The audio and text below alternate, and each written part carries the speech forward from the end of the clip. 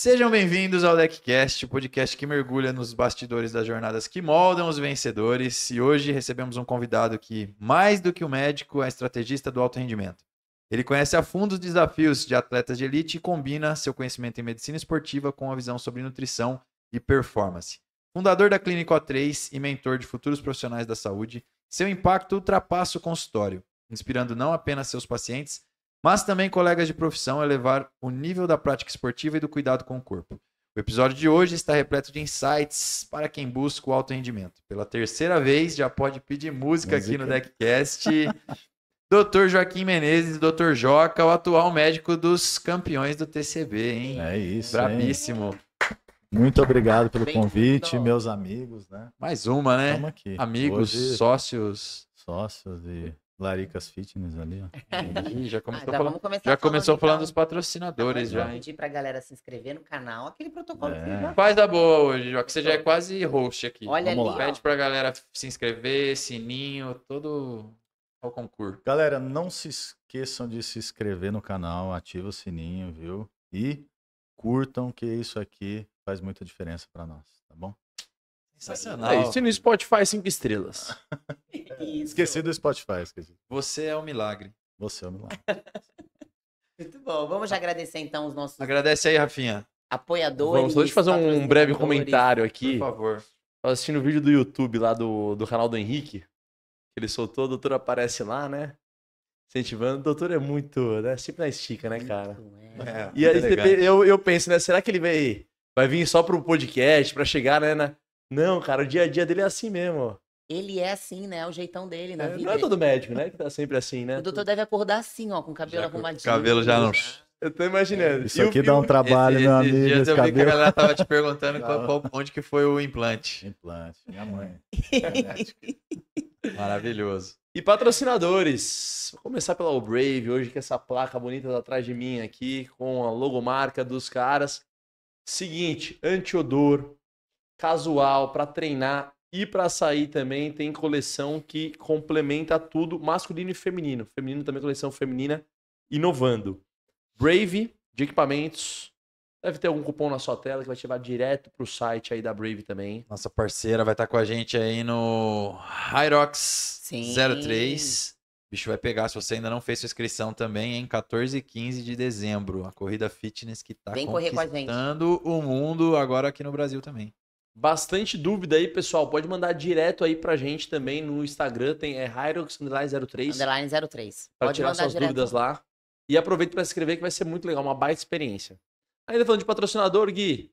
Camiseta linda, hein? Ei, Olá. não é só o Brave, tá? Aqui, ó, Rocket também. Tá sempre presente. Nosso nova roupinha aí do Whey Protein. Laricas Fitness que tá ao lado também, sempre adoçando nossos dias e a nossa vida. Nossa vida e Anymore? Acho que é isso aí, né? Deck 03, é né? E o próprio Deck 03. Deck 03. a gente não faz um. Que é onde um tudo acontece. No Deck 03, onde tudo acontece. Tudo, onde tudo, tudo, acontece. tudo, tudo, É a, a casa de todas Ó, as casas. O Brave vai estar tá onde? Deck 03. Laricas, Laricas tem aonde? Deck 03. Rocket tem aonde? Deck é o nosso patrocinador master, então. Casa mãe. Vamos começar? Vamos começar. Doutor, assunto polêmico, né? Opa! sempre gera polêmica. É, quando a gente fala em reposição hormonal, é sempre é, a pergunta acho que inicial tem que ser essa: quem precisa de reposição hormonal? Voltada para performance, libido, é, como que a gente consegue identificar? Eu preciso, como é que a gente identifica isso? Gi, é, é muito particular, né, de cada indivíduo, né, a necessidade. Se a gente for seguir literatura no sentido mais amplo da palavra aí, em relação à literatura médica, são poucas pessoas que realmente precisam, né? Mas como a gente mexe com uma medicina um pouco mais moderna e uma medicina que visa longevidade e visa desempenho, né? É, eu trabalho muito sintomas de pacientes, sabia? O paciente chega com sintomas de baixa hormonal, né? De alguma deficiência hormonal, seja mulher, seja homem, né? Alguns sintomas, doutor? Dos homens, quais são os, quais são os principais sintomas? Cansaço crônico, insônia recorrente, diminuição da performance mental e sexual. Né? Eu gosto de brincar muito com homens, né? Nada contra, tá, gente? Tá. Com homens que o homem, quando tem baixa testosterona, ele começa a ter sintomas femininos. Olha só. Hum. Fica mais inseguro, mais ansioso, às vezes mais volátil em relação ao seu humor, né? Praticamente no ATPM. Eu brinco assim, o cara, meu Deus, eu tô com baixa testosterona. Agora, se o homem fica parecendo uma mulher com baixa testosterona, a mulher fica parecendo o quê com baixa testosterona? Mais mulher ainda, né? Fica mais mulher. Muito ainda. mulher. Ô, Gui, você já teve TPM, Gui? Eu- será que eu tô de TPM? Fala aí, quando começa? Mais ou menos. Ah, eu tô bravo. Você não tá com todos os Tô, sintomas. tô bravíssimo, assim. fala a verdade. Alguns sintomas, de repente, dele não é só baixa testosterona, né? Gente, não vão brigar comigo por causa disso, hein? Pelo amor de Deus. Mas os sintomas é, é- são muito individuais, né? Porque se a pessoa, por São exemplo, ela tá, tá com cansaço, mas não tá com baixa libido, tá com baixa libido, ou, é, é, tem que fazer essa relação, né? O profissional precisa. Insônia crônica, às vezes, pode ser baixo hormonal, né? Sim. Enfim, tem vários sintomas. Aí eu acho que é muito personalizado. né? De cada indivíduo, cada paciente. E quando a gente fala de atleta, existe um perfil de atleta é, que, que você que a gente consegue durante a consulta, né? Você como médico atendendo alguns atletas, todo atleta Deixa, precisa deixa eu só fazer fazer um, um reposição. adendo a isso aí, porque é, isso hoje a gente vê muito no Instagram, né? O Sim. bodybuilding tá viralizado a, o uso indiscriminado de hormônio, né? Piada pra Exato. todo lado, o cara com um bujãozinho, com uma seringa, e não sei o Virou. quê, e a zoeira. Hoje é assim, ah, o ciclo, não sei o quê. é- é- E nos esportes de, de alta performance, onde não se admite doping, né? É, ninguém fala, é- é, Assunto proibido. é um assunto proibido, ninguém toma nada, todo mundo é limpo. Exato. E é essa loucura, né? Então, esse é um, é um- um grande problema que a gente tem também sobre falar isso nesse episódio aqui. Exato. Mas a Depende puxa de tá contigo. atleta, né? É, exatamente. O Gui pontuou muito bem, né? Depende, né? De qual atleta. Aquele que pode, né? Que faz de forma amadora. Na verdade, teoricamente, nem ele poderia, né? Mas no bodybuilder é liberado o uso de esteroide anabolizante, mesmo pra, por causa da performance, né? Mas a gente sabe que hoje tem campeonato de naturais, entre aspas, né? Pessoas que não fazem reposição hormonal. E quando a gente fala de doping, né, teoricamente o, o atleta olímpico, o atleta que vai disputar a competição, enfim, ele não usa né, nenhum esteroide anabolizante durante aquele período que ele está correndo risco de doping, né? Ele é testado, né? Exato, ele é testado, ele pode ser testado. O atleta olímpico, ele pode ser testado a qualquer momento, né? Uhum. Então, Por isso que tive- vários caem também, né? né? Exato. Então, assim. Mas, assim, gente, a maioria, né, ou usa, ou já usou algum dia alguma coisa, alguma. fez algum tipo de reposição, né? Isso foge um pouco do controle nosso médico, né? Como que eu faço lá no consultório só para tirar essa dúvida mesmo? Esse atleta pode fazer reposição hormonal? Ele tem doping? Não. Então, beleza, ele pode. Ele pode usar um tipo de hormônio para melhorar a recuperação dele, para melhorar o volume muscular, para aumentar a força. Enfim. Ah, esse atleta tem doping. Então esse não pode. né? É difícil até fazer estratégia, dependendo do ciclo, né? Se ele é olímpico ou não, ou se é um atleta de crossfit, às vezes, né? Que é menos rigoroso ainda o doping. Né? Então, assim, a gente fica meio, né? Com uma certa até insegurança de usar nesse atleta. O que, que eu prefiro? Eu não faço. Quando tem doping, eu, É o seu nome que tá em jogo, né? lógico, Mas- eu que sou responsável. né? Mas tem como manipular formas desse atleta não ser pego? Porque muito se fala assim, ah, não é possível que fulano não usa. Aí, aí alguém fala, ah, mas é o médico que é bom, ele usa com certeza. O médico Não, e é olhando bom." muito pro, pro cenário mundial mesmo, né? É. Você fala, pô, o Rooney não usa nada. É, fica- tem pessoas que fica difícil mesmo, né? A gente não pode julgar, porque é, é claro que tem muita gente que não usa e, e parece que usa. Mas existem formas de manipular isso, do- da- de realmente o atleta ele tá usando, mas se ele for testado, ele não ser pego no doping? Não ser. Existem as meia-vidas das drogas, né? Dos hormônios, que elas demoram algum tempo para sair totalmente, ou da corrente sanguínea ou pela urina, né? Do atleta em si. Então tem como sim manipular. Só que tem uma coisa que não dá para manipular, a acurácia do exame. Por exemplo, naquele ano estão testando um exame que pega oxandrolona há 24 horas, né? Ou há três meses antes, ou há seis meses antes. Hum. Então ficou alguma marca lá que vai saber que aquele Tem atleta alguns pegou. medicamentos que pode até dois, três anos no organismo, né? Exato. Dependendo aí da. Por isso que o médico tem que ser muito bom. Perfeito. Vamos dar um exemplo de um hormônio bem conhecido que fica muito tempo, né? No doping é a nandrolona, né? A decadurabolin que pode ficar, né? Até 18 meses você pega no doping. E, e o- quantos por cento você tem essa média de que o uso de anabolizante beneficia o atleta? Assim, ah, se você pegar um atleta muito bom que tá usando e um atleta muito bom também que não tá usando, os dois com níveis muito parecidos de performance, o quanto o que tá usando por cento a mais, por cento a mais tem vantagem? De todas as modalidades ou alguma específica? Vamos pensar no crossfit. No crossfit, perfeito. Ó, o que, que eu analiso aí já há alguns anos mexendo com, né? Tratando performance no crossfit, acompanhando, eu vejo que até um ponto, né? Até um ponto, chegou aqui, né? Vai ser benéfico. A partir desse ponto,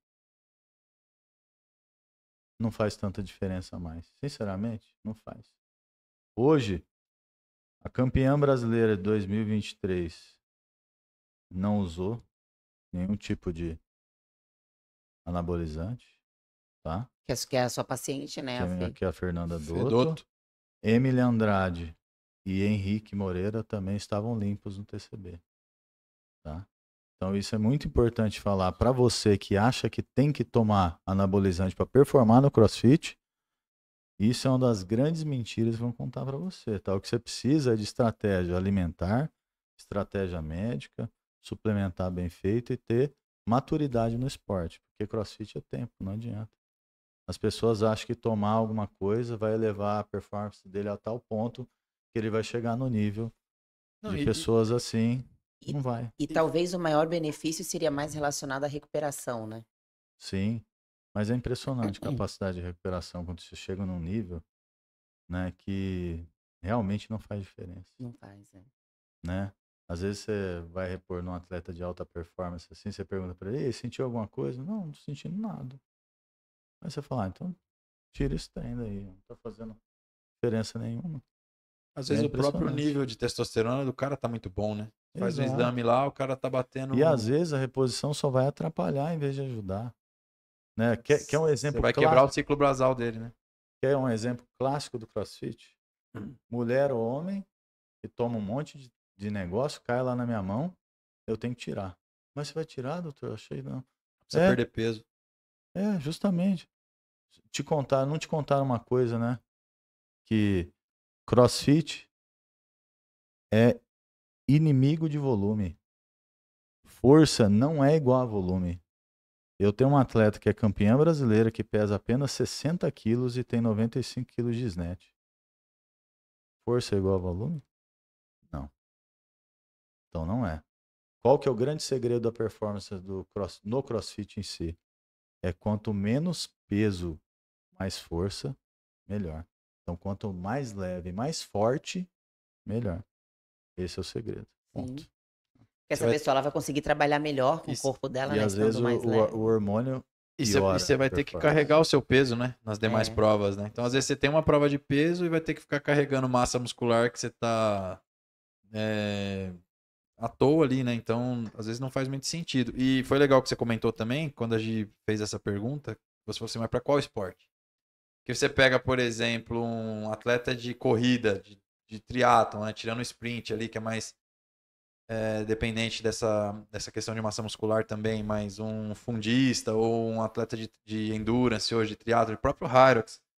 Você vê que às vezes ali o cara não vai se beneficiar muito do, da utilização de, de substância que, ó, o que que tá acontecendo? Ó, é o iFood de quem? Esquecemos de, de colocar o Opa. no Vibra. O iFood do Laricas chamou. Pode pedir aí na sua casa. Inclusive, Eu- estamos no eu já vou aproveitar a pública. Já chamou a, Já vinheta. chama São Paulo, ó. Já chama aí Laricas Você Fitness. tá aí à toa agora. Tua não, tá assistindo já a gente. assiste o, em Deckcast São Paulo. e já pede o seu O Laricas, cara tá? ficou tão bom no marketing que ele botou pra pitar de propósito, De só pra propósito. soltar essa. Mas voltando aqui ao raciocínio, você pega alguns esportes, como esses esportes de endurance, e, a- às vezes você fala isso, né, pro Matheus, fala, cara, creatina aqui, pra, você tá só correndo hoje. Não vai, É. Às vezes não vai ser muito Vai, benéfico talvez pro... gerar um ganho de peso que não vai ser interessante, né? Vai te deixar menos ágil. Até É, a creatina, às vezes, a gente, quando o atleta é muito Rótulo. dependente de, de, de peso corporal, tem até suplementos que você tem que segurar, sim. porque pode gerar ganho de peso. É, eu não costumo usar fazer re- fazer uma reposição hormonal para pacientes que me procuram para, por exemplo, correr uma maratona. Eu acho que não faz sentido, porque normalmente é uma pessoa que está precisando de ema- emagrecimento, É. né? Acaba não sendo muito compatível. O que eu faço muito é usar suplementos específicos que geram mais energia dentro daquela célula específicos, né? Tem uns muito bons, o NADH, o PQQ, são algumas substâncias específicas, né? O próprio nitrato, às vezes bem colocado, é muito bom. Às vezes até creatinas, em algumas exceções, né? Então, assim, tem alguns suplementos que ajudam demais, né? Betalanina, etc. Então, assim, mas assim, eu não gosto muito de colocar. Agora, se é um cara, por exemplo, eu já fiz essa preparação. O cara me procurou para correr 180 km, aqueles caras de ultra Uhum. né? E ultra com elevação, etc. Aí eu usei. Porque já é outro cara que vai precisar de massa muscular para suportar aquela prova tão longa, tão extensa. Então ele vai ter que ter uma recuperação diferente. O cara que corre em montanha, por exemplo, ele precisa de mais força. Ele precisa de mais músculo. O cara do triatlon, às vezes faz sentido você fazer alguma coisa para melhorar a recuperação dele, né? Então, assim, e por isso que é muito É, a individual. de cada resistência muscular, né? né? Esses esportes de endurance canta, canta forte. Eu teve até um. Eu vou trazer aqui um fato engraçado. Que acompanha o Instagram, vocês devem ter visto esse corte porque foi viral, né? Até o Gustavo Cunha brincou depois lá. Que uma, uma senhora tá num podcast também, ela brinca assim, ó. Galera do CrossFit não transa. Porque a libido vai lá embaixo, exercício de alta intensidade. Ela começa a zoar, depois ela zoa também do, do, do triatlon, né? Fala, ah, o cara do triatlon então esquece. Eu até mandei pro Cadu brincando. Falei, ih, velho, tá indo pro seu lado aí, né? E o que a gente tem de base pra essa afirmação dela? Porque é o Gustavo Cunha, mas minha senhora, você não conhece os meninos do boxe. então, assim, né? Ela tá fazendo uma afirmação, não, esporte de alta intensidade. Ela tá, primeiro que ela tá comparando uma coisa com a outra que não tem nada a ver, né? Eu tô Sim. pegando o crossfit, comparando ali também com, com o triatlon, mas qual o impacto disso em é, testosterona, libido, se há necessidade de, dependendo desse tipo de, de impacto, a gente entrar com a reposição para não deixar o nível de testosterona cair, se Por realmente conta cai, da alta cai. intensidade. Treino de força, acho que dá para falar também. Ah, hum, se a gente for pegar na literatura, não faz muito sentido, né? Pode ser que aquela pessoa tá tomando um hormônio errado também, que faz cair o libido, né? A gente tem que saber diferenciar, né? Existe hormônios testosterona e hormônios não testosterona. né? Que elas fazem bloqueio do eixo, inibe a produção de testosterona, só que ela não é testosterona. Então, às vezes, isso. Agora, falar especificamente daquela pessoa que só, que não faz nenhum tipo de reposição, e ou. Às vezes é porque ela tá cansada, né? Faz tanto exercício que não tem pique para fazer outros tipos de exercício, né? Faz Pode sentido. ser isso. Não É. faz muito sentido na literatura. Teria que ser ao contrário. Quanto mais força, né? Por exemplo, o crossfit Mais e, liberação hormonal. e o triatlon, pô, é o, é- são os. O estudo que mostra aumento da testosterona no exercício foi através da quantidade de músculo em membros inferiores, né? Então não faz muito sentido, assim. É mito. É, É mito. Mais um mito É. quebrado. Agora sim, falando dos benefícios, né? Então, assim, qual seria o maior benefício de uma, rep- pra uma, de uma reposição hormonal para o praticante de atividade física? Pra, pensando em performance. Seria mesmo é, essa questão do, da recuperação? Vamos, ter, vamos dar um exemplo aqui, Gi. Tem um atleta meu de crossfit que ele teve um, um câncer de testículo, né? Quando era novo. E acabou que ele ficou com um só, mas aquele um não é muito bem funcionante. Então a testosterona dele nunca passa de 200. 190, lembrando que é, valores de testosterona normal, pessoal, é entre 300, vamos arredondar aqui, 300 a 800. Tá? No homem, na mulher, né, vamos colocar aí de 25 a 70, arredondando, tá? Valores de testosterona total. E se o cara tiver no 300 aí, doutor? Exato. Deve se preocupar? Tá no- Depende, tá se num- tem sintoma? Sintoma. É sintomático? Eu gosto de tratar sintoma. É sintomático? Porque é impressionante. Quando o cara está sintomático, cansaço crônico, perda do libido, diminuição da recuperação, da performance, insônia. E aí você vai lá e repõe a testosterona para ele, muda a vida dele. E vou te falar, eu vou pegar o meu exemplo, tá? Você falou mulher entre 25 ali e 70. A última vez que eu fiz exame, você lembra? Foi em maio. É, antes de, de começar, antes de, de participar de uma competição, tava em 7. Minha, te- muito baixa. Muito Mas eu não tava com sintomas de, de quem tava com uma testosterona baixa. Tava treinando bem, rendendo bem, recuperando bem, o sono bom. Então, não necessariamente, porque isso serve pra mulher também. Né? Muito se fala, né, de, de reposição hormonal na mulher. Tava baixa a testosterona, mas eu tava com outros parâmetros muito bons. Então, não Sim. necessariamente ali é, é o indicativo de que precisaria fazer uma reposição hormonal. É, porque- pensando nos sintomas. porque pensa só, o paciente me procura para saúde, né? Ele vai lá, mas, pô, doutor, eu não, não acho que não tá baixa, mas tudo bem. Eu acho que não tem necessidade de repor. Né? Eu não tenho muito esse perfil no consultório da pessoa que quer ir lá para tomar, para ficar grandão, para melhorar a performance, né?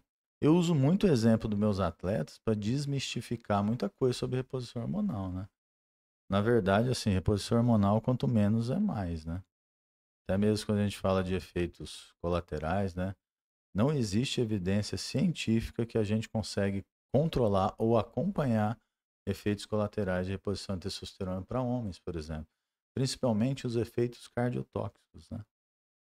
E hoje a gente tem a tecnologia, né? Falando de tecnologia, do eco com strain, que é um eco mais sensível que o eco do tradicional, que pega alterações cardíacas até um ano antes, né? Então a gente fugiu um pouco, né? Mas interessante falar, isso aí. É né? interessante falar do colateral, que é aquilo, né? Não Então, é é. só mil Não é maravilhas, só né? benefício. E ninguém fala do coração, né, pessoal? E o coração é quem mais sofre. Pensa só, eu tenho uma modalidade esportiva, que a gente está falando de crossfit, que ela aumenta a frequência e ela aumenta a pressão. Esse coração. Ele trabalha numa frequência alta em alta pressão. Aí eu coloco um hormônio que melhora a capacidade, só que piora a pressão, aumenta. E inibe um pouco a miostatina, né? Que é aquele hormônio que não deixa a gente ficar igual aqueles touro lá da Bélgica, lá fortão, né? Tem inibição de miostatina. Acaba aumentando o músculo do coração. E aumentar o músculo do coração aumenta o índice de morte súbita. Então, assim, você que toma, faz reposição hormonal de testosterona e nunca fez um eco com strain na sua vida, você corre risco de vida, meu amigo. Eu pego, pego, pego, eu faço a cada seis meses nos meus pacientes esse exame. Inclusive lá na clínica a gente tem esse exame, um cardiologista é, do esporte que faz, inclusive. E a gente acompanha muito bem lá. E assim, usuário testosterona recreativo nunca tinha feito nada. Depois de seis meses, aumentou o músculo do coração. Hum, interessante, hein? Clínico A3, hein? Pra quem não sabe de qual clínica o doutor tá falando aqui. Doutor, você falou um negócio importante aqui. Que outros exames que deve ser feito aí para acompanhando, né? Acompanhar essa evolução. Utilização talvez? também do. Pra ver se tá tudo bem. Sim. A gente faz muito ultrassons, né, das principais glândulas do corpo, tireoide, né, é, rins, vias urinárias. Ultrassom do corpo inteiro é um exame simples, né, que a gente consegue acompanhar algumas coisas, né. A gente sabe que a maioria dos hormônios aí que a gente tem hoje, se a gente for falar de hormônios bioidênticos, a gente não está entrando em várias, porque tem vários tipos de hormônios, né. É, eles não vão né? São poucos que têm comprovação científica hoje mesmo que causa câncer. Não, esse hormônio causa câncer. Por exemplo, o hemogenin aumenta o índice de hemogenin é oximetolona, pessoal, que é conhecido na academia aí. Ela aumenta o índice de hepatocarcinoma, que é o câncer de, de fígado. Beleza, isso aí a gente tem comprovação. Tá muito popular, hein? Exato. Né? Mas outros hormônios não têm comprovação específica que aumentam o índice de câncer. Mas pensa só, é meio lógico. Se eu tenho um nódulo lá que ele tem cara de ser ruim, de ser maligno, por exemplo, a gente tem que tirar isso da frente. Porque se ele já cresce rápido, imagina com testosterona alta. Pode ser que ele cresça mais rápido ainda. Hum. Então, esses segmentos, sem contar dos exames de sangue também laboratoriais, é muito importante. Então, fazer exames de imagens completos, o coração, então a ergoespirometria, tá? Que é a análise elétrica e mecânica do coração, e o EchoStrain, que é a análise estrutural do coração, juntamente com exames laboratoriais também. Então, esse é o check-up perfeito para quem quer fazer uma reposição hormonal, seja com indicação, ou seja, quem quer melhorar a performance, enfim. E doutor, assim, após responder, né, para quem, para quê, que a gente sempre tem que pensar nisso, existe um hormônio que, que tenha menos colateral? Então, assim, um hormônio que se a pessoa usar em. Eu tô, eu tô respondendo as per- a pergunta que eu sei que vocês queriam fazer. Tô perguntando a. Ó, tô sendo amiga. Que, é óbvio, né, com acompanhamento médico, mas se a pessoa usar em, em doses adequadas, os colaterais, muito se fala, por exemplo, da oxandrolona. Ah, é de, mulher, é de mulher, é bobinha, não sei o quê, não sei o quê. Existe isso? Nenhum hormônio existe dose segura. Eu gosto muito da teoria da caixa preta, do Black Bo- Box, né? né? Entrou aqui, você nunca sabe o que vai sair do outro lado, né? Pode ter menos efeitos colaterais no Rafa. Mas às vezes agir com 3 miligramas de oxandrolona começa a cair o cabelo, a voz começa a alterar. É impressionante. É. Não tem dose segura. É uma coisa, sabe? Porque é sempre pra quem, né? Agora, pensa só, eu tô com o Gui, que teve um, um hipogonadismo, seja secundário, né? Hipogonadismo é quando não tem uma deficiência de testosterona fisiológica. E ele vem para repor testosterona. Aí é diferente, né? A gente não tá falando de níveis suprafisiológicos, mas mesmo assim tem que ser acompanhado, né? Vamos dar um exemplo que minha ginecologista lá da clínica gosta de falar sobre esse assunto. Lá na USP tem o estudo dos trans, né? Das mulheres que estão tomando testosterona há 10 anos sem efeito colateral. Então pensa só, eu tô pegando uma mulher e transformando em homem. Então hoje a segurança da testosterona é muito grande, desde que tenha o máximo de controle de efeitos colaterais. Né? Então assim, vai acontecer naquela pessoa que tomou pouquinho e às vezes aquela pessoa que está tomando muito há muito tempo não acontece nada. Uhum. Isso depende de cada um, viu? É, eu tive um, tive um amigo, ele trabalhava comigo. Ah, Gui, um amigo, Gui. Falando sobre o hormônio, vai começar Não a falar de um não é amigo. meu primo, não. Não, é verdade, cara. Ele trabalhava comigo na polícia e foi fazer utilização por conta, assim. Teve câncer no testículo e teve que, teve que tirar. E acho que foi assim, primeira ou segunda vez que ele foi, foi utilizar. E é isso. Você, vê, você pega, às vezes, o bodybuilder lá, o cara, ele ganha o Olímpica, o Olímpia porque a capacidade dele de suportar uma utilização cavalar sem ter contra É, é, o cara nasceu com aquilo, né, meu? Pronto pro negócio. Pô, pode tacar veneno que nasceu no, pra isso. no pai não dá nada, né?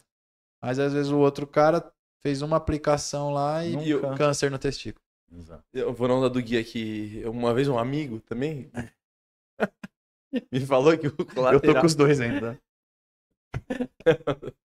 Um amigo uma vez falou que o colateral pra cabeça, pra cabeça eu digo pro mental, de você tá tanto, eu acho que funciona tanto pra performance quanto pra estética, de você já ter tido um outro corpo ou já ter performado num nível e quando você para a utilização de algum hormônio, você retrocede e para a cabeça mesmo, pro mental da, da pessoa acaba sofrendo bastante, assim. Um Tem- negócio meio viciante, né? é, uma- A é, pessoa vê a diferença. Psicotrópico. Exatamente. Principalmente quando a gente fala de testosterona no homem, né? É igual a minha brincadeira, né? O homem com baixa testosterona, ele deixa de ser homem, né? Agora, quando a testosterona tá alta, ele fica mais corajoso, Capitão América. Né? Ele fica mais viril, né? É do instinto masculino. Ele fica mais seguro nas decisões, ele melhora a performance dele na empresa, ele melhora a performance dele no trabalho, ele melhora na vida dele em geral. ele começa a render mais, né? Então, assim, eu eu sou totalmente a favor aí uma reposição para quem tem indicação, né? Não sou contra, desde que seja feito com cuidados, né? Mas voltando quando esse paciente resolve interromper, né? A gente fala muito de restauração do eixo, né? Preparar aquele paciente para retirar a testosterona.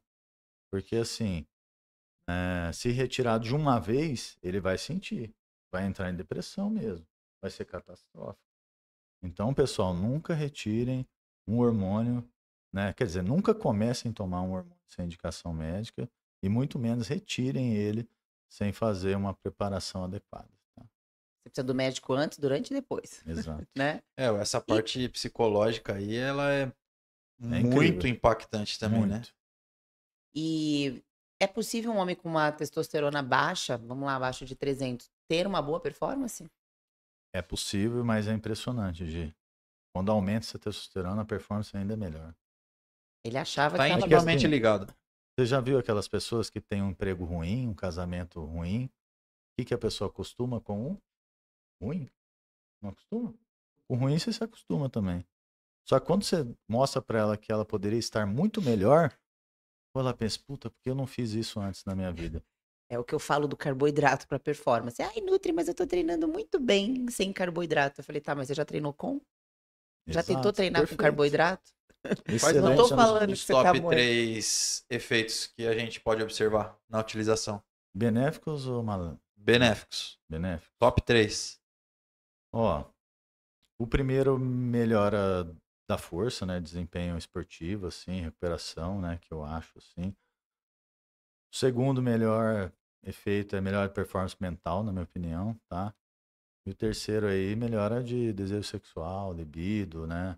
Entre outras coisas Que relacionadas já a melhora isso. tudo a vida do cara também, né? Pô, me fala quem que não quer estar melhor no trabalho, rendendo mais, trabalhando mais, né? Não sentindo sono à tarde mais, dormindo melhor. Né? Qualidade Não precisa de- consultar aí, doutor. Eu que eu falo, tô numa, falando, fase a gente sai desses, desses episódios querendo usar tudo Eu que numa, falam. eu tô numa fase da, da vida com neném recente, muito trabalho, que eu É. tô precisando realmente Passa na minha O3. Agendar minha um consulta. Já até tô mais animado, hein? E, e assim, também um negócio que é. O pessoal muito pergunta, né? Às vezes com o avanço da idade, a gente tem uma queda natural, né? E, por exemplo, meu pai, Perfeito. seria indicado, às vezes, ele passar numa consulta, dar uma olhada como é que tá os níveis. É seguro o meu pai hoje com 60 anos, se for necessário fazer uma reposição para a qualidade de vida dele? É seguro. Eu defendo uma coisa lá em unhas e dentes. Eu prefiro viver um ano feliz do que dez triste. Já dizia racionais, né? Um ano como rei. Exato. E não tô dizendo que você vai começar a reposição hormonal e vai morrer daqui a um ano, tá, gente? Mas eu digo assim, que, que a, na mulher, então, assim, a reposição hormonal salva a vida da mulher, cara. Cara, você- passou Salva. exatamente isso na minha cabeça, né? Salva a vida da mulher, salva o casamento. Salva mesmo. Salva Na- o casamento, cara.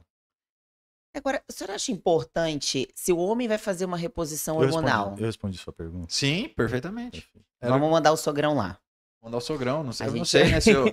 Ô pai, você tá dando conta do recado em casa? Depois nós vamos trocar uma Vamos ideia. perguntar pra vir, né? Pô, Agora Gui, sim. No meio do episódio falando que seu pai tá. Usando Pô, Eu tô aqui, né, coronel, coronel. Sacanagem. Chega amanhã lá no quartel, tô enrolado. É, como é que fica o pai lá no quartel agora? A imagem. Então é assim, O pai dele fica fogueira. 30 anos construindo uma imagem pra ele vir aqui no Deckcast. Começou com aquela história, meu é amigo. eu tô falando isso aí. Agora é o pai. Meu pai é o seguinte, meu pai sempre foi atleta. A gente tinha um lifestyle meio parecido. Ele gostava de adrenalina, tudo que liga com testosterona. Saltar de paraquedas, asa delta, ele voava, corria de kart. De repente aconteceu, quebrou, quebrou o pé jogando bola. Verdade, quebrou o pé. A partir daquele momento ele se lesionou, não fez mais nada de esporte. E aí começou, barriguinha, pá. Hoje meu pai, coitado, o bicho tá... Shape tá precisando dar um talento ali, entendeu? Só que eu vejo que ele não tem a vontade lá de treinar e tudo mais. Já o pai da Gisele, O meu pai o tem que mandar é parar. que o bicho não para. Assim, Tem que né? mandar parar. Ele faz as E reposições ele, e dele. ele tá fazendo a reposiçãozinha dele, tá? Ele tá fazendo a reposição dele. Mas assim, Como que é o nome do seu pai? Maurício. Pode levar seu Maurício lá, que nós vamos cuidar dele. Nós vamos fazer um Tra- um- um, hotel, projetinho. Um projetinho. projetinho, sim. Então nós vamos fazer isso. Fala aí o que você falar. Sabe o que eu queria perguntar? Porque assim, você pega, por exemplo, um casal, né? Então o homem é, faz a reposição e, e tem toda essa mudança. Treina melhor, performa mais, é- é, fica tudo, todo um ambiente muito melhor. A mulher não faz. E a mulher também tá com a testosterona baixa. O quanto isso pode impactar na vida de um casal? Vai dar merda. Porque eu tenho na minha cabeça que tem, é, vai- ser uma diferença muito grande para pessoas que convivem é, diariamente ali. Você tem um homem com a testosterona alta, com toda essa Querendo vitalidade, e você tem uma mulher com a testosterona em 5, depressiva, sem disposição para nada, triste. Ó, eu sei que algumas pacientes minhas do meio do CrossFit, se vocês sentirem à vontade, comentem depois aqui nesse, nesse episódio embaixo de quanto a reposição hormonal impactou na vida de vocês, né? Então, assim, é impressionante que o casal tem que caminhar junto nisso aí. É impressionante como acontece. Vai a esposa, tá com o libido baixo, só que aí vem o marido depois que não tá aguentando mais a esposa que melhorou muito o libido. E vice-versa, né? Não, traz a minha minha esposa aqui tá precisando de uma reposição, doutor. Melhor, melhorar a autoestima, né? A gente questão libido em si é muito doida assim, porque ela principalmente na mulher, ela impacta em vários fatores, né? Autoestima, né?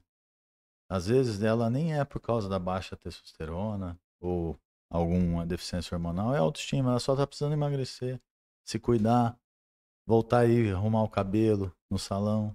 Fazer. Principalmente quem foi mamãe, né? Acaba esquecendo um pouco desses detalhes, né?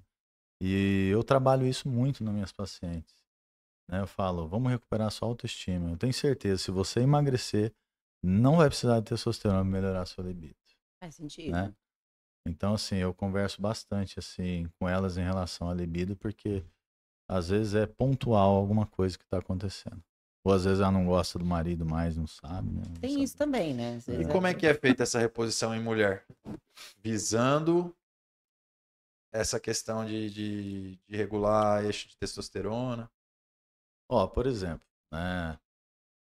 é, vem uma mulher com testosterona lá de zero, né? No exame acontece muito, né? Em uso de anticoncepcional oral, normalmente. É comum, né? Lembrar que o anticoncepcional oral à base de estrogênio, ele bloqueia a testosterona, diminui muito o libido da maioria das mulheres, né? É, a gente sempre opta por mudar essa via, tirar esse anticoncepcional, colocar um DIU, às vezes, ou indicar outro tipo de reposição, tá? E repor testosterona naquela mulher, tá? Em forma de gel transdérmico, né? Ou implantes hormonais que foram, inclusive, proibidos agora. Acho que Acompanhei essa treta aí. parece uma um pouco de briga política aí, né, pessoal? Que não faz sentido, né? Não poder re- repor por implante hormonal, mas você pode tomar uma testosterona na farmácia. Repor, Injetável. né? Enfim, isso é um assunto para outro, outro episódio, né? Brasil, né? Mas eu sempre opto primeiro pelo um gelzinho bioidêntico, né? Uma dose baixa para ver se ela se sente melhor. Normalmente melhora bastante o libido, né? Melhora bastante a disposição, o sono, né? Normalmente esses sintomas são os mais comuns de baixa testosterona em mulher. E aí é só fazer a, a, a reposição, porque vocês têm lá uma. Na, na O2 vocês têm uma clínica, vocês têm uma equipe multidisciplinar, né? Sim. Então, isso que você falou, de repente a mulher ela precisa emagrecer, ela precisa cuidar mais da estética Sim. dela, da saúde, não necessariamente fazer uma, uma reposição.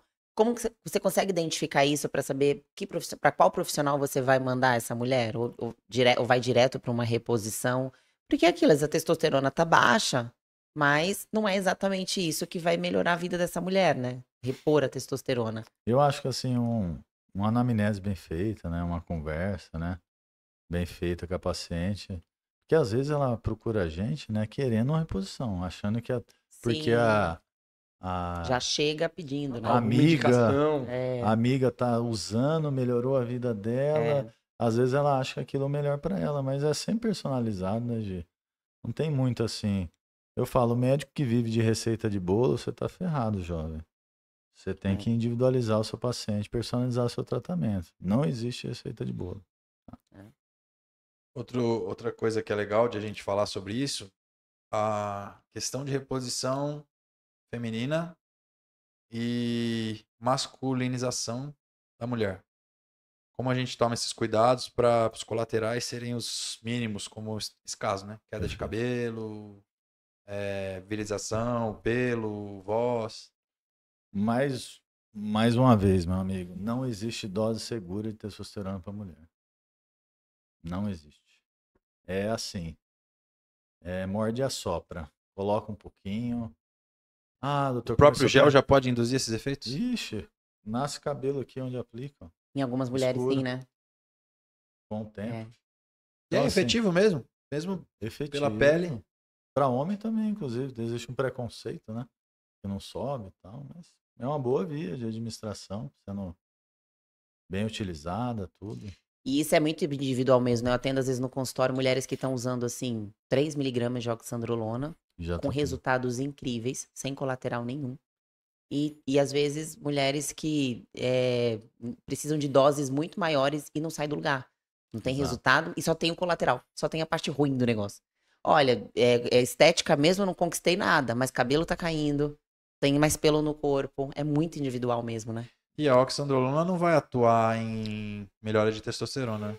Não, oxandrolona é um hormônio não testosterona. Ô, Gui, Isso é legal é- de falar. Eu achei que o doutor que era especialista, cara. Não, mas essa aqui É, essa é outro- É... aqui é É outra via ali, é outro. é, Eu, eu, eu gosto desse assunto aí, entendeu? Cara, você tem, tem que E ser... assim nasce o médico. assim, vamos, vamos conversar isso aí, doutor. É. Então, pessoal, oxandrolona é um hormônio não testosterona, tá? Então, foi um hormônio desenvolvido lá atrás, que tinha o nome comercial, se não me engano, de Anavar, para tratar pacientes com HIV positivo para ganhar de massa muscular, tá? E, teoricamente, é um hormônio não muito androgênico, tá? Com bom efeito anabólico. O que, que é isso? Androgênico dá caracteres masculinos ou efeitos colaterais, e anabólico tem uma boa resposta no ganho de massa muscular né? Então, assim, mas tem os mesmos efeitos que a testosterona na mulher. Vai acontecer de dar efeito colateral. No homem, piora muito o perfil lipídico, né? Aumenta o colesterol, tem os efeitos colaterais dele. Tem alguns pacientes que pode eh, desenvolver hepatite com o uso, tá? Porque a dose no homem é muito maior, né? Para fazer um efeito anabólico bacana, né? Então, assim, não tem muito dose segura, mas teoricamente é um hormônio mais tranquilo. Vamos colocar assim. Respondi a pergunta, né, Perfeitamente. Sim, perfeito. É que eu, eu quis aqui. citar porque é, a, a oxandrolona é muito popular, né? Sim. Fala-se muito de oxandrolona. Eu escutava de oxandrolona na época das paniquete. Ah, as paniquete, oxandrolona, não sei o quê. A gente estava conversando sobre isso esses dias, eu acho que na outra vez fora né, do ar, que assim, quais são os hormônios que tem estudo científico, pessoal? Alguns estudos, tá? Oxandrolona, nandrolona e testosterona. Acabou. Esses outros vocês escutam aí, que é nome comercial de mercado paralelo, Primabolan, que é a metonolona, é, Masteron, que é a drostanolona, eles não têm estudo científico, viu? Então Que tudo é? no escuro. O que mais é popular aí? Trembolona. Trembolona, Todas né? bolona, né? essa aí é, a- O, É uma das como piores chama de que você todas, falou né? que Dianabol. tem... Dia- Não, o que ele falou mais no início? nandrolona? Teca. Né? Teca, não. É. Esqueci o nome. Então- Enfim, o que não tá faltando é veneno no mercado, né? Não, tem um, tem um cardápio, né? Mas é aquele de caixa preta, né? E GH? GH. GH é legal de falar também, porque também já é outra via, né? É, o GH é o hormônio do crescimento, né? Assim, o uso dele em deficiência mesmo do hormônio do crescimento em pacientes, né? É benéfico, sim, obviamente. Né? Mas é um hormônio que vai crescer tudo, né? Cresce nariz, cresce orelha, cresce o câncer também, que tá ali quietinho. Então ele vai dar alimento para tudo, né? Então eu particularmente não gosto muito de usar GH, muito menos para fins estéticos. Acho que o custo-benefício dele não vale muito a pena. Vocês vão Bem escutar, caro, né? vocês vão escutar vários podcasts de médico gosta aí. Eu, eu particularmente acho que não vale a pena. É superestimado, né? Eu acho que totalmente. Você concorda? Já ouviu Uhum. isso várias vezes. Muito superestimado, né? O GH ele é muito utilizado. Ó, vou fazer minha graduação junto aí, hein? Mas o que eu acompanho do fisiculturismo, ele é muito utilizado na finalização do shape, né? Então o cara Sim. já tá ali com 5%, ele vai utilizar ali pra dar aquela Os seus, os seus amigos, então, pra finalização de shape, eles, finalização. eles irmão. vão de GH. É só, aí o cara tá com 20% de gordura, ele quer, pá, vou fazer a ciclinha de E é um GH. investimento alto, O hein? cara vai pra 18. Aí é comum, né? Isso se for para 18. Comum no consultório chegar lá, ô, doutor, eu GH, tal. Meu amigo tá tomando, não sei o quê. Pô, mas um amigo dele dorme todo dia, oito horas por dia, faz cardio de jejum de manhã todo dia, treina todos os dias, Não bebe no final de não semana. bebe. Pô, E é o GH que tá É o GH. efeito. Ah, pô. as pessoas esquecem disso, né? O hormônio sempre vai ser a cereja do bolo, pessoal. É a cereja do bolo. Quem que que o come a cereja, eu sempre deixo ela fora do bolo. É verdade, hein? Verdade. Porque é- Tem que ter o bolo, né? Pra poder colocar cereja. bolo. Tem que ter o bolo. faz sentido? Não. O pessoal quer ir lá em cima já, né? É. Você não tá fazendo nada direito, né? E aí Inclusive, você- nós falamos um pouco sobre isso, né? É, sobre a base, né? É a base, não adianta. Ó, o hormônio vai potencializar tudo de bom e de ruim que vocês vão fazer, tá? Então, assim, não se iludam que você vai conseguir performance sem uma boa alimentação, sem um treino adequado, sem um sono adequado, usando anabolizante, tá? Ele só vai servir como mecanismo compensatório dos seus pilares da vida saudável que não estão alinhados. É. ponto. Não se iludam, tá? Não vem com essa conversa fiada. Digo que- mais, vou puxar a sardinha pra mim agora aqui, tá? Não adianta Nutri, não adianta o médico. Se você quer performance, esquece. 90% é o treino. Esquece, Assim, é o treino. Você pega todos os grandes atletas, o cara foi descoberto depois. O cara não tinha Nutri, o cara não tinha médico. De repente você vê o caraca, o próprio Ramondino aí, quando os caras Exato. descobriram o cara, o cara já é o treino. Não, ainda mais quando a gente fala, você fala, você citou o Ramondino, ele ainda é estética, mas quando você fala em performance, não tem, Pior ainda. não tem o que falar, assim, é treino. Então, não existe nada que seja mais importante que o treino. Vamos dar exemplo do nosso paciente. que- Henrique. Que, nunca foi. Ele começou a fazer dieta, ó. Não vamos brigar comigo. O Henrique é esquisitíssimo. Em janeiro, pessoal. E ele De nunca verdade, tomou nenhum tipo É. de anabolizante, tá? Não, ele é esquisito. Né? É. Então, assim, nunca tomou nenhum tipo de anabolizante e não fazia dieta. Não fazia. Era grande gargalo É. dele. E agora ele ainda não tá fazendo 100%, mas melhorou muito. E ele, ele sentiu diferença. Ele até fala que ele sentiu muita diferença de, de melhora quando ele começou a, a levar a dieta um pouco mais a sério. Mas o, o Henrique, quando ele despontou, ele não tinha nem nutricionista. Que eu lembro que eu ainda perguntei pra ver, eu falei, esse menino não tem ninguém acompanhando. Ela falou, não, não tem. Aí foi aí que ela fez a ponte entre eu e ele, eu comecei a atender, mas ele ainda, mesmo depois que ele começou a passar em consulta, ele ficou uns dois anos pra começar a levar a dieta um pouco mais a sério. E sabe quando foi? Ele começou a le- quando ele ganhou peso. Ele ganhou peso, algumas férias aí que ele tirou. E aí todo mundo começou a tirar um monte de sarro dele, chama ele de Péricles, de não sei o que. Eu lembro do. Eu tenho esse áudio, Nutri. Eu preciso fazer dieta. A galera tá me chamando de Periclão.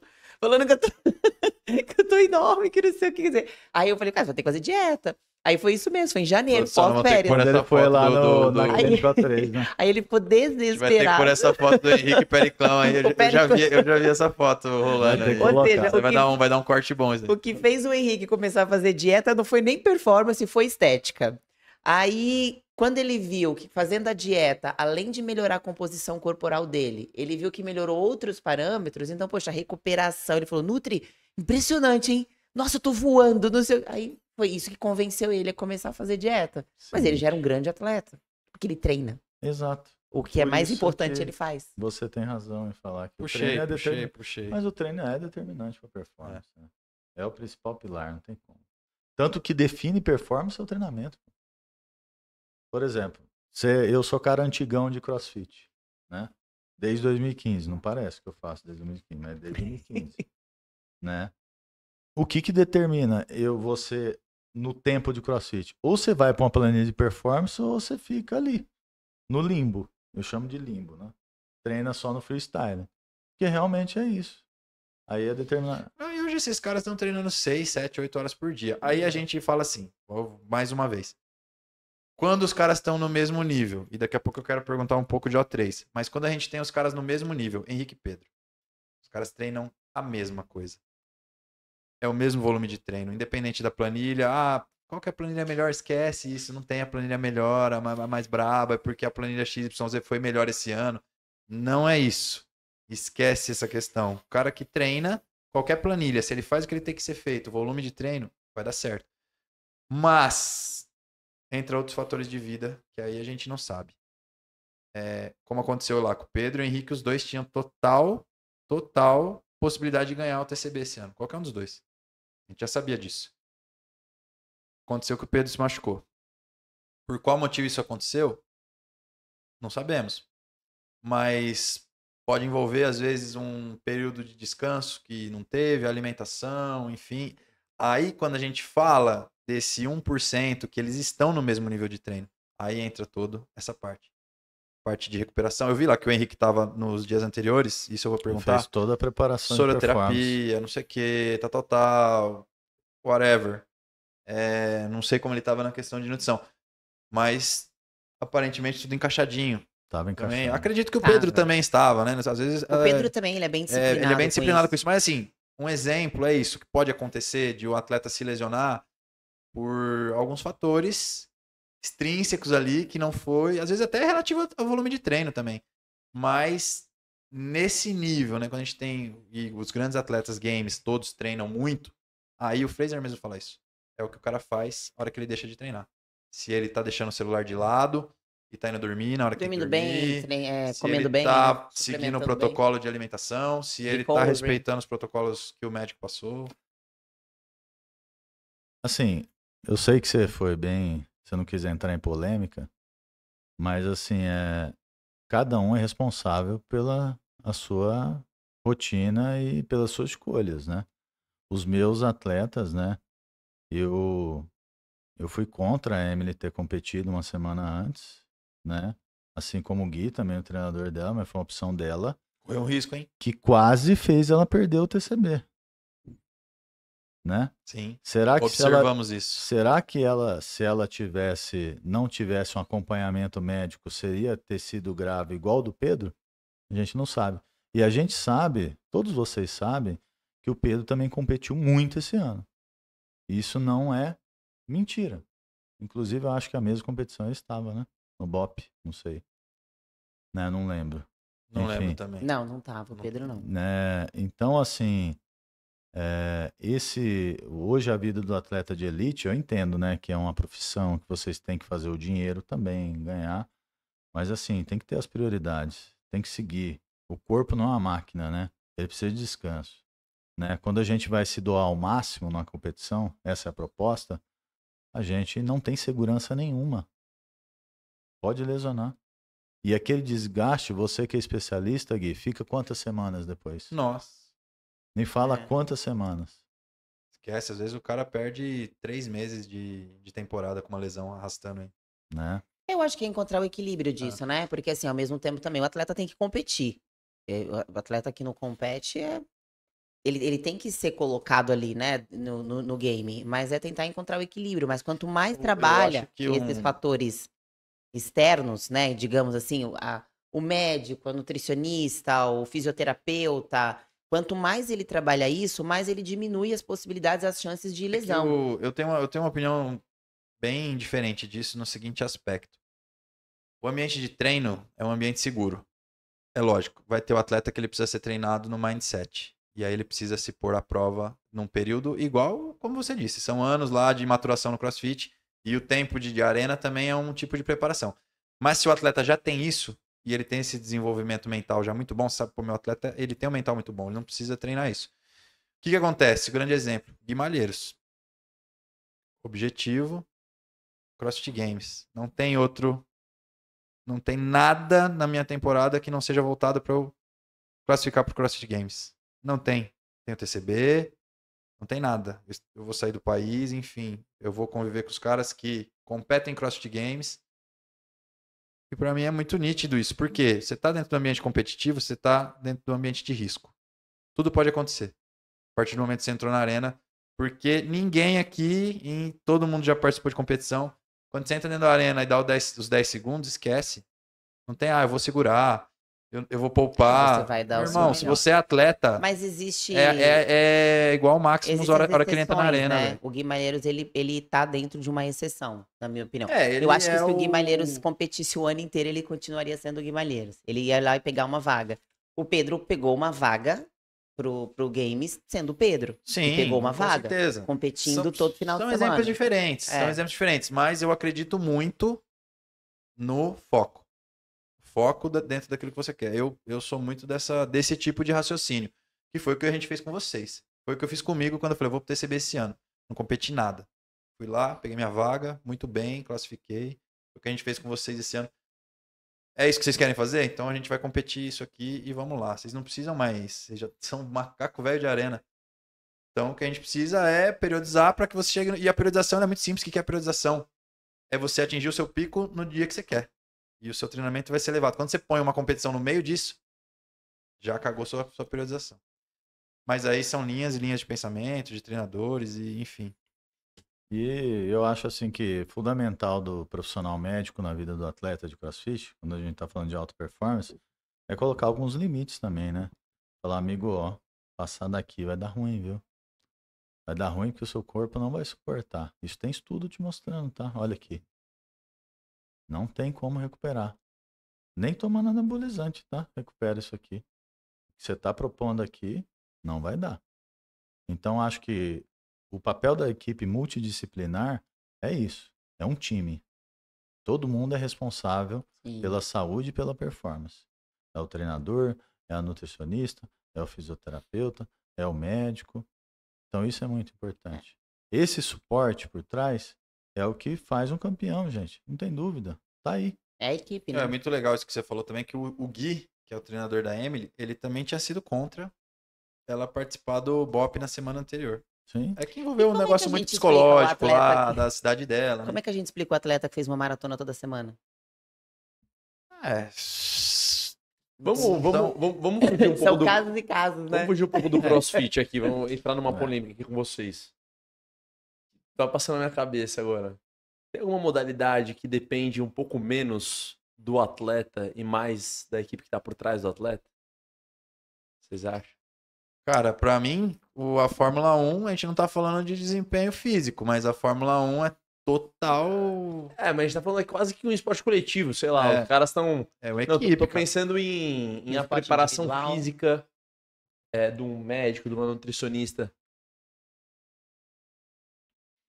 Eu acho que nenhum Que de- depende mais do atleta, depende menos do Não, atleta. sempre vai depender do atleta, Gi, mas eu digo em comparação, a gente consegue traçar níveis aqui pro crossfit em, em relação ao fisiculturismo. Eu já vejo que o fisiculturismo depende mais, talvez, de uma instrução médica. E dieta. Fisiculturismo é muito dieta? dependente de dieta. Mas se você pegar as raízes do fisiculturismo, por exemplo, o coach do cara, muitas vezes ele é o médico, ele é o nutri e ele é o Tá, mas treinador. ele tem porque- uma pessoa que tá cuidando disso pra ele. É, é que é o coach, né?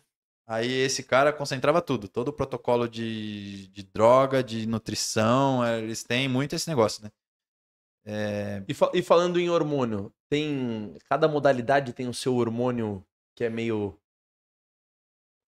O, o direcionado pra, pra pessoa performar? Você acha isso, doutor? Tem alguma. Se a gente Qual fala que é o melhor hormônio pro fisiculturista? Existe isso? Não existe. E pro crossfit? Nenhum. Pode ser nenhum. Pode. Se o médico falou, tá falado. Pro crossfit, Creatina, doutor. É a melhor que tem. Esse é o melhor hormônio que tem. pro CrossFit. Não, mas agora sim, é complicado essa pergunta, né? Porque assim, até o próprio CRM, CFM falou e orientou, né, que nenhuma prescrição hormonal pode ser voltada para performance nem melhor desempenho físico, né? Essa não é a orientação que é dada pela nossa sociedade, né? Então, assim, rotular que esse X ou aquele é melhor para performance específica de cada esporte, eu posso falar o que é mais usado nos bastidores, né? O que o pessoal usa sem acompanhamento médico. Aí sim. Se a gente for falar de crossfit, na minha opinião, que o pessoal mais chega usando no meu consultório sem acompanhamento médico, etc., é a Deca Durabolin, né? Por causa da, de um possível tropismo pelas articulações tendíneas, né? E a oxandrolona, juntamente com a testosterona aí, são os mais usados no meio do crossfit, tá? Uhum. Já no fisiculturismo, a gente foge muito disso aí, né? Porque tem todas aquelas drogas do mercado underground, né? Do mercado negro, que eles utilizam, né? É, trimbolona, GH, primabolan, dianabol, hemogenin, tudo. Stanozolol. É, estanozolol. Então, assim, aí já é uma coisa muito mais... O produtor tá anotando lá, a gente tá falando aqui, ele tá. Você Ele é pegou, pegou né? o Você bizu, pegou o do crossfit? Lu? O- O do crossfit. Isso é muito legal também que você tá falando, Rafa. Aqui às vezes, ah, pô, vocês estão jogando areia. Tem um episódio, não sei se ainda está no Netflix, mas tinha, era um filme lá, um documentário que chama Ícaro, né? Se eu não me engano. E é um cara que tava fazendo o Tour de France, um atleta de, de ciclismo. E ele fez uma, um protocolo lá de utilização de stanozolol, se eu não me engano. Não é. Faz, faz muito tempo que eu assisti isso. Mas ele mostrou a colocação que ele fez puro. Foi a primeira prova que ele fez. E aí ele falou: não, esse ano agora eu vou fazer o ciclo e tal. E aí ele mostra toda a questão de doping, antidoping. Mas é engraçado que na utilização ele foi pior na corrida.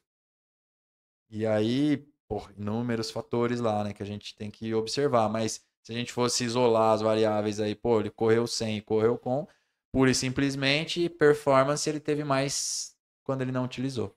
Exato. E eu escuto muito, assim, do meio, né? Não da corrida, mas em alguns meios, que para performance aeróbica, a estonazolol piora, muitas vezes. Porque ela aumenta muito a capacidade de pressão, aumenta muito a termogênese em algumas situações, então ela piora a performance, às vezes no crossfit, às vezes no endurance em si. Uhum. Faz sentido um pouco, mas igual, igual eu falei para você, não existe estudo que comprova isso. É mais de percepção e relato né, de causa de usuários recreativos assim comentam, né? Sens- Sensacional. É... Tem, um- tem uma aqui também, curiosidade que eu já ouvi aí. Tal dos peptídeos. É, é hormônio isso daí? Não é hormônio? Pô, isso aí é novíssimo, hein? É. Sim. Vamos lá. Os pep- peptídeos são uma fração, né? Quando a gente pega a cadeia lá hormonal, de uma molécula hormonal, por exemplo, a molécula do hormônio do crescimento, do GH. E aí saiu, né? Isso aí nem é legalizado, né? Em outros países que se usam, que essa molécula foi desmembrada em peptídeos, que compõem o hormônio. Então, nada mais, nada menos que pegaram um hormônio e desmembraram esses pedacinhos do hormônio em forma de peptídeos. E começaram a usar um para cada finalidade específica. E foi eh, visto né, que um era melhor para cada finalidade. Mas existe sim, né? Mas faz assim. Eu não, não lembro de, de relato de paciente meu que está utilizando isso, que veio de fora, que veio de outro lugar.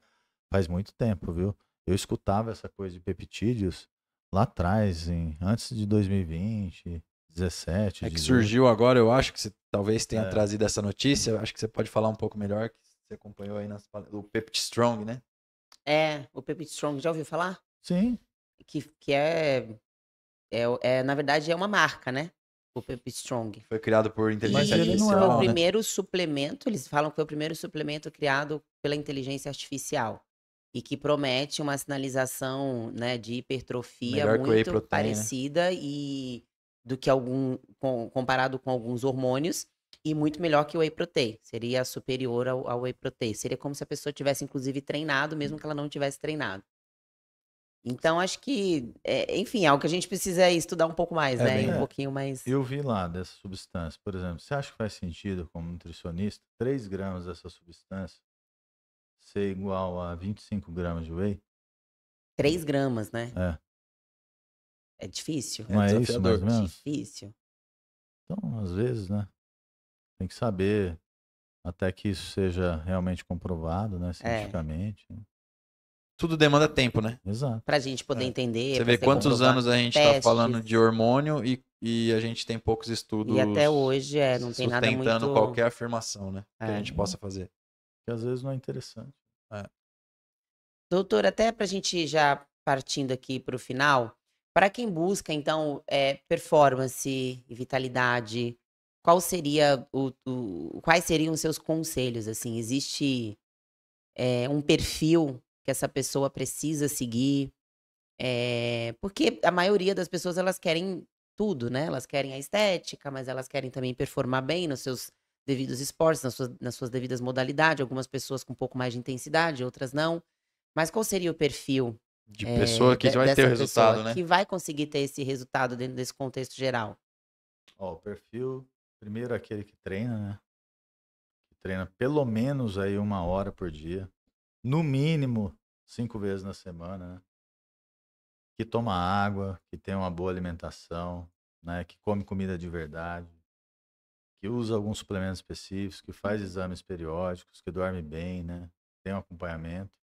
Esse sim vai ter os resultados esperados, às vezes com um tipo de reposição, quando bem indicada, né? esse sim merece, né? Eu falo muito, muito, muito para meus pacientes, amigos, etc., que o hormônio você tem que merecer. O hormônio é por merecimento. Não é o que você quer usar, que, ah, eu quero usar aqui. Não, você não merece, você não faz nada certo. Quem disse que você tem indicação para usar? Isso vai ser muito mais maléfico para você do que benéfico. Então o hormônio é muito disso. Para quê? Você não faz. O bolo, você já quer a cereja? É, eu não tô merecendo. Eu, ultimamente, deixa eu me abrir aqui pra vocês. Deixa quieto, Rafa, isso aí. Você Você não vai passar né? na O3 ainda.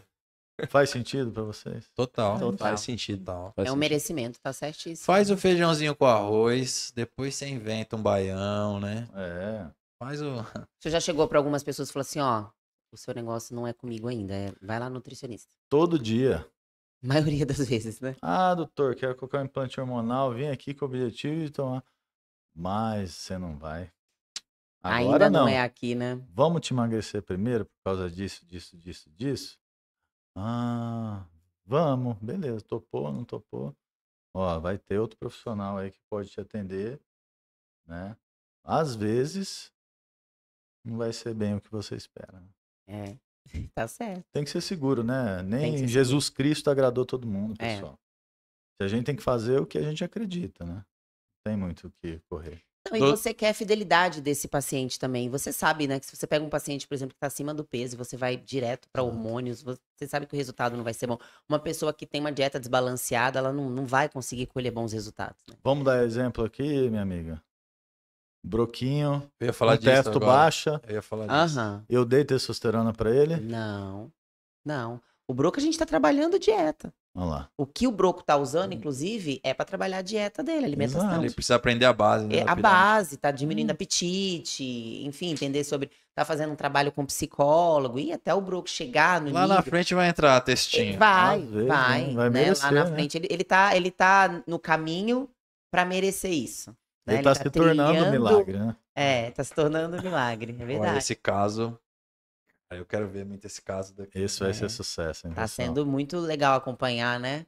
Tá. O, o processo dele. incrível. Doutor, eu acho que a gente conseguiu tirar, né, muitas dúvidas aqui.